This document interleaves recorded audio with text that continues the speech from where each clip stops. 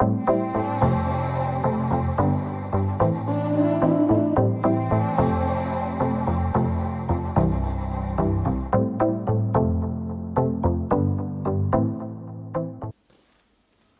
guys, it's so great to connect with you all, whether you're watching on YouTube, Grace Church Cork, or you're listening on our podcast.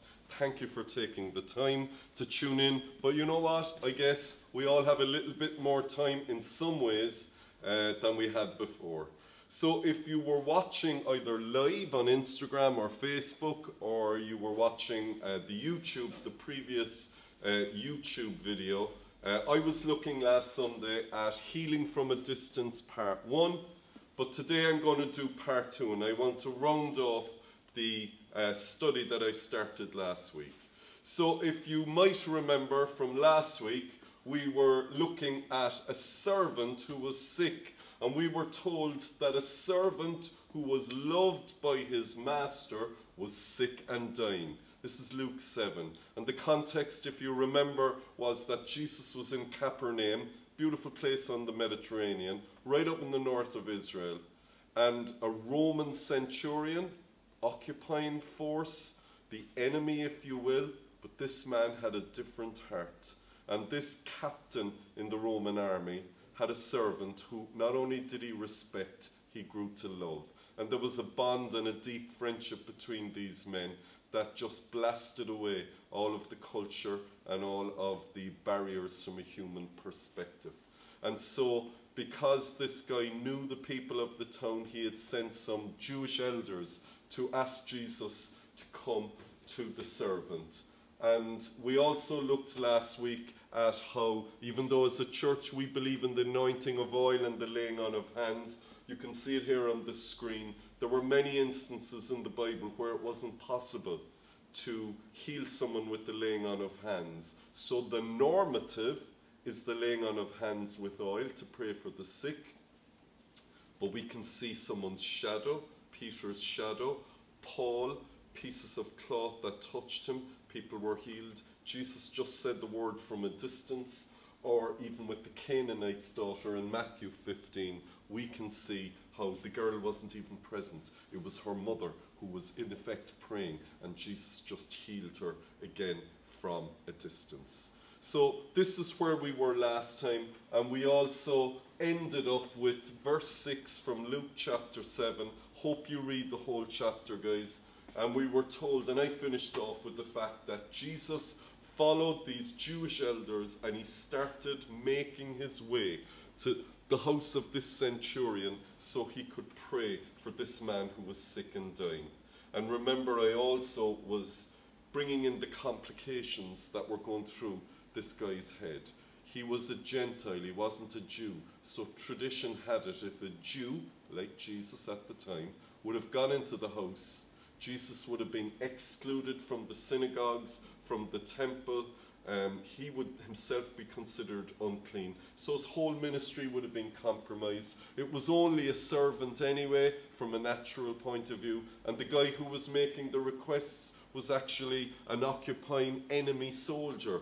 None of this made sense, and when you and I pray for healing, there's always a complication comes into our heads as to why Jesus shouldn't heal. But Jesus is more concerned about the person, not about the situation. So that's where we ended. We sang that beautiful song, Waymaker. Jesus is on his way. Let's pick up the rest of the narrative in Luke chapter 7, and I pray, Lord, your word would speak and feed us today in Jesus' name. Amen. Here we go, and we pick it up. Healing from a Distance, Part 2. Not far from the house, remember Jesus is on the way, the centurion sent even more friends to Jesus to say to him, Lord, don't trouble yourself. I don't deserve to have you come to my house. And that's why I don't consider myself worthy to come to you personally. But just say the word, and my servant will be healed. I too am a man under authority with soldiers under me. I tell one to go and he goes. I say to another, come and he comes. And when Jesus heard this, he was amazed.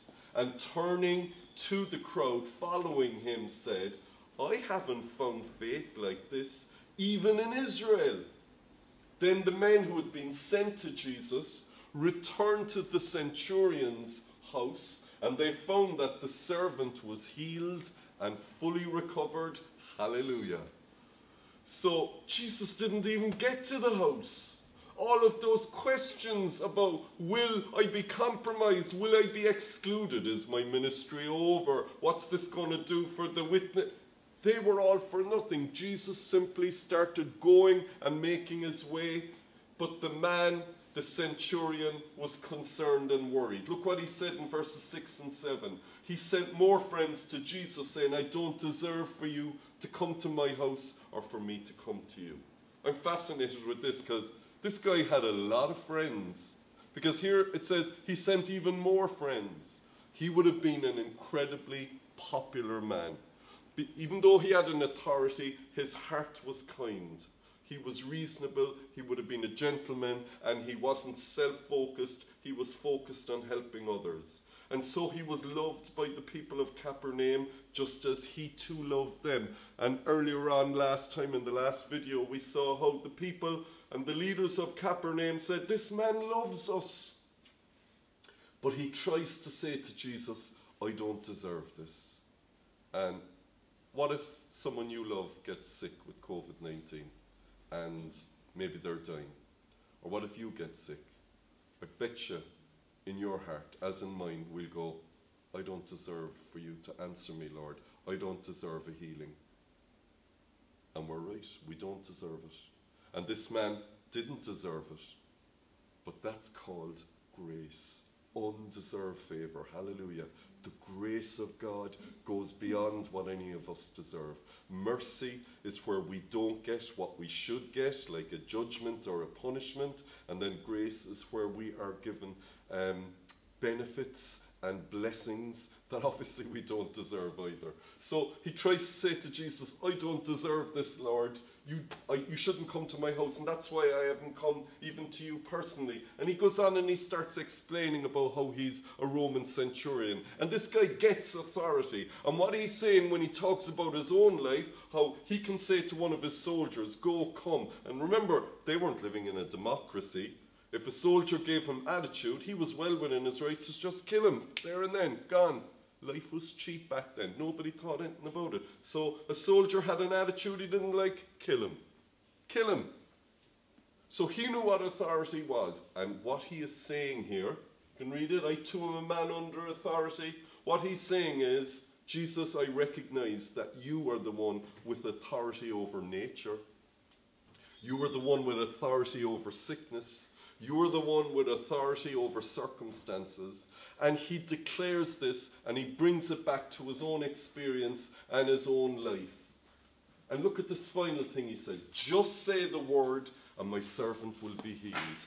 Praise God. What wonderful faith. Just say the word.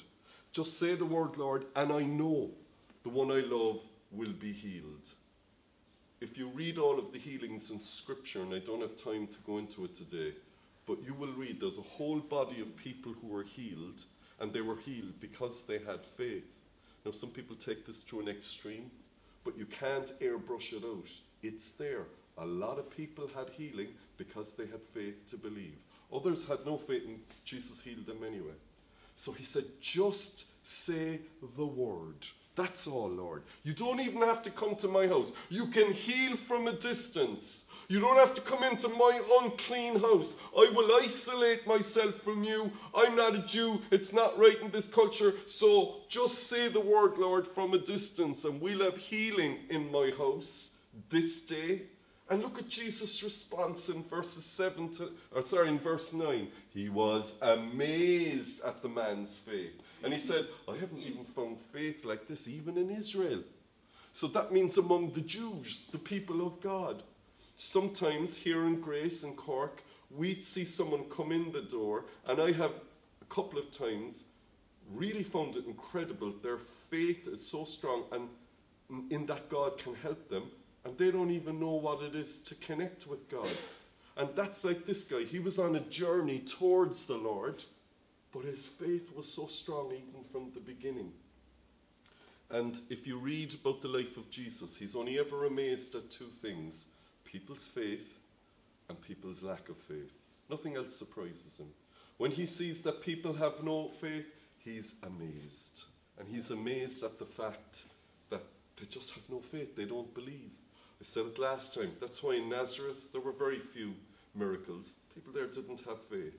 If you don't have faith, that's your call. But don't expect God to be healing. This man had faith, and Jesus was amazed at it. It got his attention, as it were. And this guy was even better than the guys in Israel.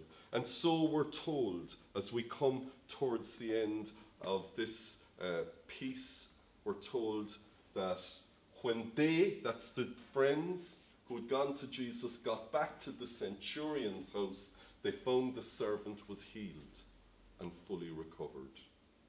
And that is verse 10. So I'm going to ask you the question Where's the bit where Jesus said, Be healed now? Where, where's the word? The centurion said, All you have to do is say the word. But Jesus didn't even say a word. There was no word. He just said he was amazed at the faith. And so these friends would have gone back, probably not really sure what was going on. But when they got back to the house, the one who was sick was healed.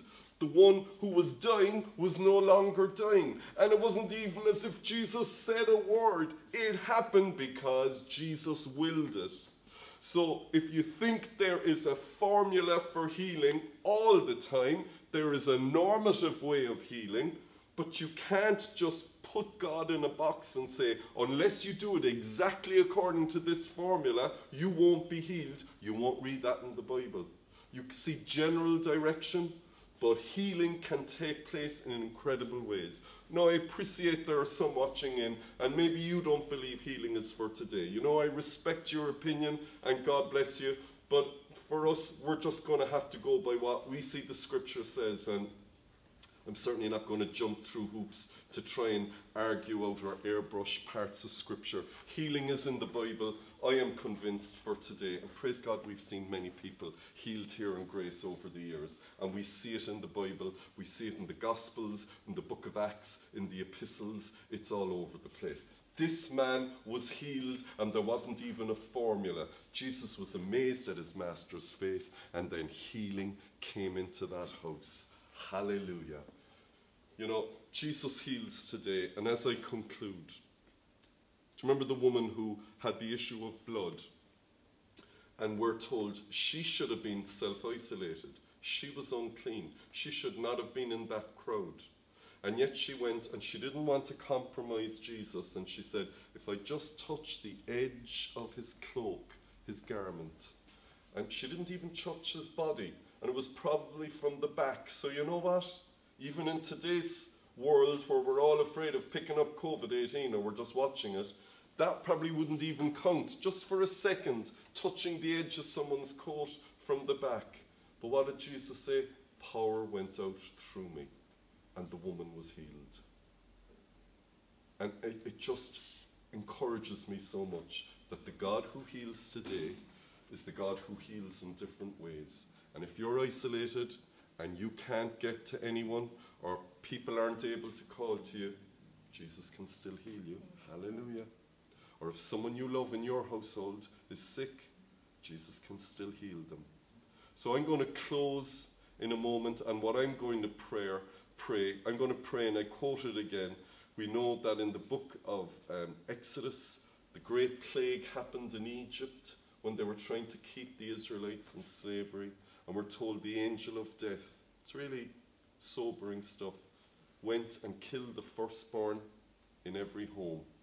But when the blood was put on the doors of the Israelites, the angel of death passed over. Coming up very soon is the Jewish feast of Passover, and the Jews celebrate the fact that the angel of death didn't go into their homes. I'm going to pray that for your home, that nobody would die through this crisis. I'm going to even pray that anyone who may get sick will be healed. We can't command Jesus to do it, but we can certainly pray that that would be the case. We're going to sing a beautiful song, or Michael is going to sing it, and the song is um, written by Matt, Matt Redman. It's a gorgeous song. It's all about how Jesus is the one who is our rescue.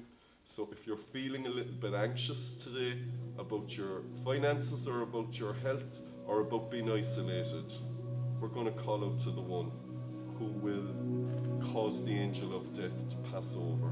If the blood is on the door of your home, I speak figuratively.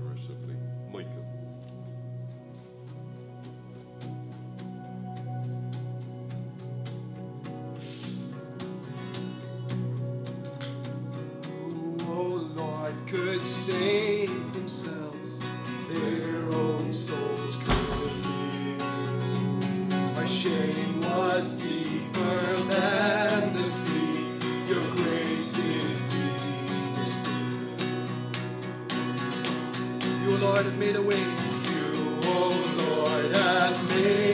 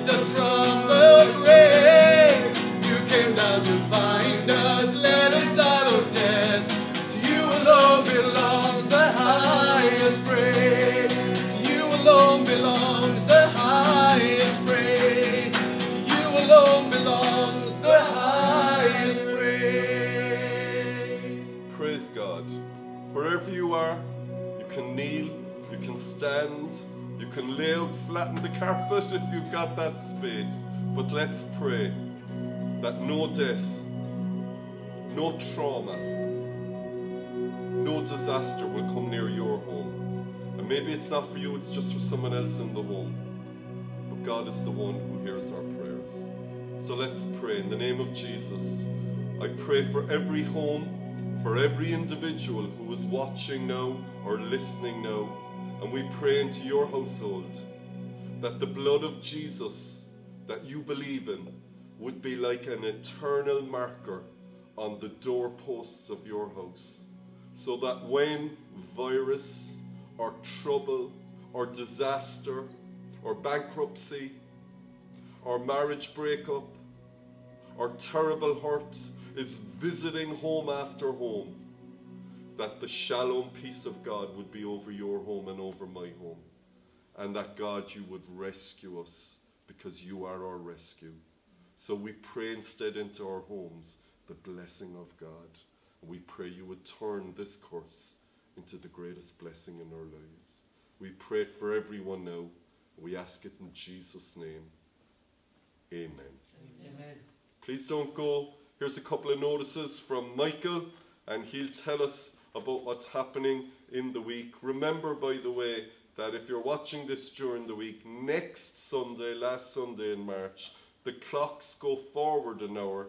So while it will be 12 noon while we'll be going live, it might feel like 11. But anyway, so the clocks change next Sunday. Let's hear the final piece of news from Michael. Hey guys, don't forget we're going to be here again for our online service next Sunday, 12 noon. While we're talking about healing, I want to give a huge shout out to all of the healthcare workers who work here in Grace. We've got a couple of dozen people who work as nurses and work, work as doctors. These people are absolutely on the front line even as we speak. And we just ask you, keep them in your prayers. Most of us are probably going to be just fine, but these people are really on the front line. So please keep them on your prayers that they would experience and know God's blessing, protection, and provision at this current time. Don't forget, we're going to be here next Sunday. We're going to be live again on Instagram, on Grace underscore Christian underscore Church, live on uh, Facebook on Grace Christian Church. We're also do, going to be putting it up as usual for a catch up up on YouTube at Grace Church Cork, and the same with our podcast, which are going to be following up shortly after this goes out. So we want to just leave you now and just give you a couple of other reminders of things that, have, that are coming up. First of all, we'd ask you if you do have birthdays or anniversaries or some such coming in,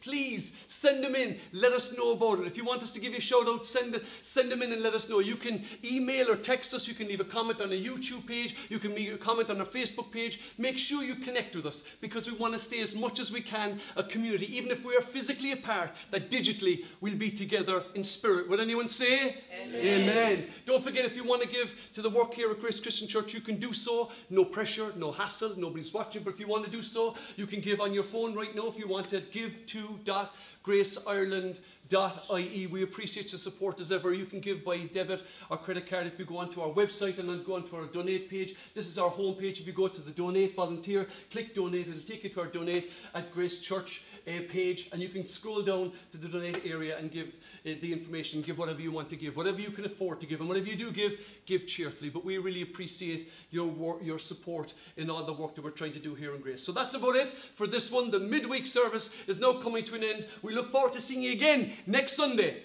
at 12 noon. Peace out.